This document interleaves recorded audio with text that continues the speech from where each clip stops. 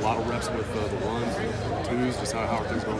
I mean, it's going really well. We got a, we got a great unit, great coaching staff. So they're all trying to mix me with everybody and, and do a lot more things with the tight ends in the field because uh, we had a really good spring. You know, our, our unit was really strong. Everybody in the even the, the walk-ons on our team, they're all, they're all pushing us to be the best. So um, we're having a good spring right now our group won best unit of the whole winter, so they're trying to get us on the field as much as possible. I imagine it's pretty rare for a college football team to have all four scholarship tight ends who all played and are all coming back the next year. It's going to be good. So talk about that and just what your thoughts are. I mean, yeah, when you, when you look at it, we're, we're obviously a pretty young team. We lost a lot of guys at the skill positions, the linemen, uh, obviously Dwayne, but the only group that came with almost with everybody back was the tight end. So they're kind of leaning on us for some leadership. I'm leaning on the other guys for leadership, and uh, we really carried this, this, this team in, uh, in the weight room and the, and the team runs and everything. So I'm really excited about our group. We're all doing really well, and like I said, everybody from top to bottom in our group is just pushing each other to be the best.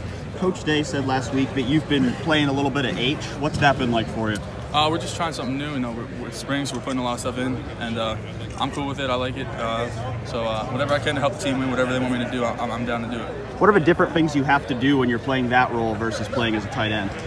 Uh, I'd say I can uh, kind of think. I got to think at, at, a different position, obviously, because I'm not really attached to the ball. Looking at the, the defensive technique and everything about that, so I'm just looking at like either with the coverage or something like that. So obviously that, but I'm just trying to go play. So whatever they want me to do, I'll just go play. You know, we got a lot of depth at tight end, so that help that allows me to do that. And uh, learning from the older guys at age two, KJ, I'm learning a lot from them, watching them, CJ. So it's uh, it's definitely something I'm learning, and, and it's something I'm willing to do. It's anything to help the team. I know you played some receiver in high school. Does that kind of help with that transition that you've kind of you've been a receiver before? No doubt. I mean, uh, I'm kind of going back to my own stopping ground, so it's uh, it's kind of a lot of fun going out there and uh, being allowed to do my thing. So, like I said before, though, anything to help the team. We got a good uh, young quarterback competition. They're all looking really well. Uh, wide receivers are looking really well, so I'm really excited about this group. The last time an Ohio State uh, tight end caught 30 passes or more in a season was 2003. Did you know that? Does that surprise you? Uh, it doesn't really surprise me because when you think about Ohio State, they just they put their best players in the situation to make the best plays. So uh, we've had some great tight ends come through. A lot of them in the league right now. Uh, Marcus in the AAF doing a lot of things. Caught a touchdown the other day. So I mean, whoever's the best player is going to get the ball. That's, that's how Coach Day is. That's how Coach Wilson is. So us coming in having a great win it was huge. You know, our group's really deep. So I think that it's very it's very possible to happen this year, and uh, we'll keep fighting. You mentioned those quarterbacks, just Justin and Matt. What's it been like building a rapport with those guys? I mean, they're both really smart guys. That's what they, they obviously can throw. They obviously can run around a little bit, but they're really smart. They're learning really well. It's uh, it looks like a good competition. They're both really getting to feel the offense, which is tough. We have a tough offense, so I think they're both doing a really good job, and I'm excited to see how it works out. You mentioned that you've been working receiver a little bit in, in the new offense, but you back in high school that was your position. Not many people know that you weren't really a tight end in high school. What is what is that process? What, what, was that process like adapting the tight end last year, and where do you feel like you're at now?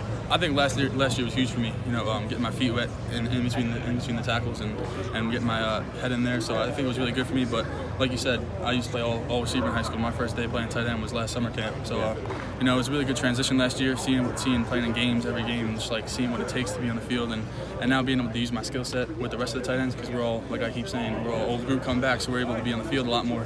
What? So sorry, playing behind Luke and Rashod, what did you take away from those guys when you were a freshman, and how, how are you working that into what you're doing this spring? I mean, I wouldn't even just say Luke and Rashod. Jake was a big help. Uh, even walk-ons with Derek was a big help. Uh, they really just told me uh, everything I needed to know about where to line up, what, the signals were, because that was the toughest part coming in was thinking so much pre-play, not thinking about the play exactly. So now I feel like I got a big rest, learning from them about everything, and, and being more confident on the field, so I can look at what the defense is doing, and play more uh, reactive instead of just thinking about everything that's coming at me. Was this a change you expected coming in into your second year? I mean, coming in as a receiver, playing tight end for one year. Did you expect to get receiver? Uh, they've always spoke. They've always talked about it. I mean, uh, we haven't been doing too much of that, so I don't want to say that I'm just playing receiver now. Uh, I've obviously, I'm, we're still playing in, in attached to ball a lot more, two tight ends attached to ball. So we're just trying new things, new offense, and I'm not going to say I expected it, but uh, we've, we've talked about it before, and I'm excited to keep it going. Is blocking the biggest adjustment to, to coming from high school to college ball? Is it, is it blocking for a guy like you, or what's the biggest uh, adjustment? I wouldn't say just blocking. I would say pass blocking. So that's something I've been really trying to work on with Coach Hinton. Uh, I played defense a lot in high school, so the physicality wasn't really a big question for me.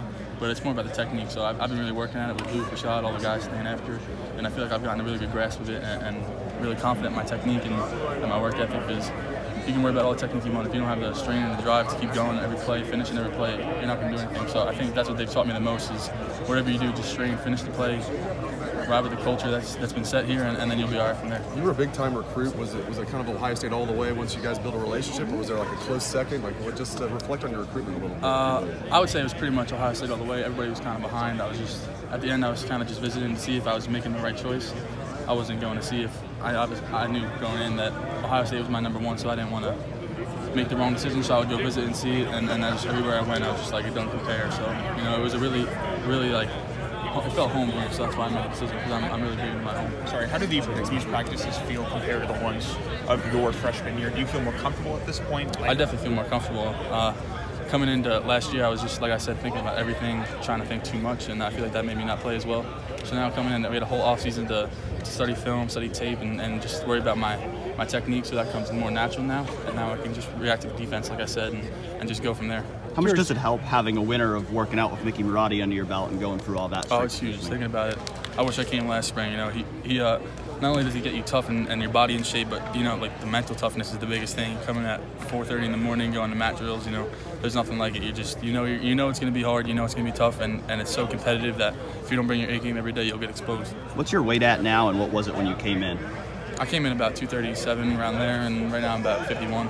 So uh, I gained a lot of weight, but we've been they've been on me for my body scans and everything. So uh, my body my body fat percentage is right about where it was when I came in. So I gained good weight. I feel like I can still move pretty well, and, and that's all credit to Coach Mick and his staff. Jeremy, it seemed like most of the time we got to see you in a game last year, you were doing more blocking. Than, was that like just being baptized? How would you describe?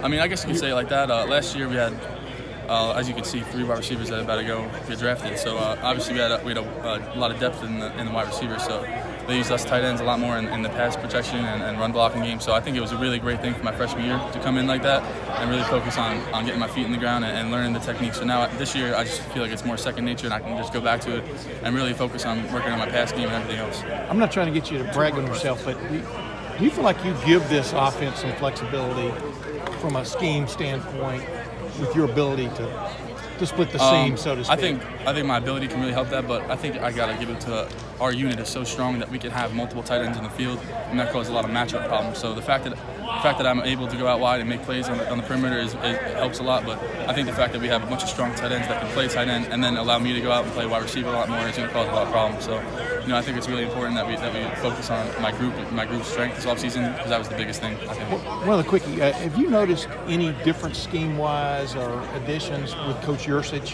now on board? What have you?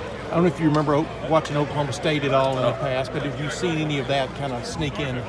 Uh, definitely. I know I've obviously heard about his offenses. They're always leading the Big Ten. They're always up there. So the thing about Coach Yurcich is he brings a lot of energy before in, uh, in the stretching lines and everything. He just running around jumping on people, trying to get you fired up for practice. So I think he brings a lot of good energy as well as a lot of football IQ. So I sat down in meetings with him and Coach Day one day in the offensive staff room on just off day, and I was just listening to how they talk about football, and it just you can just take so much in like a sponge, just absorb the way they talk about the game because they break it down to so many levels where you don't even think about it. So it's really cool to sit down and listen to them talk football because there's no one really you can talk to that's better at it.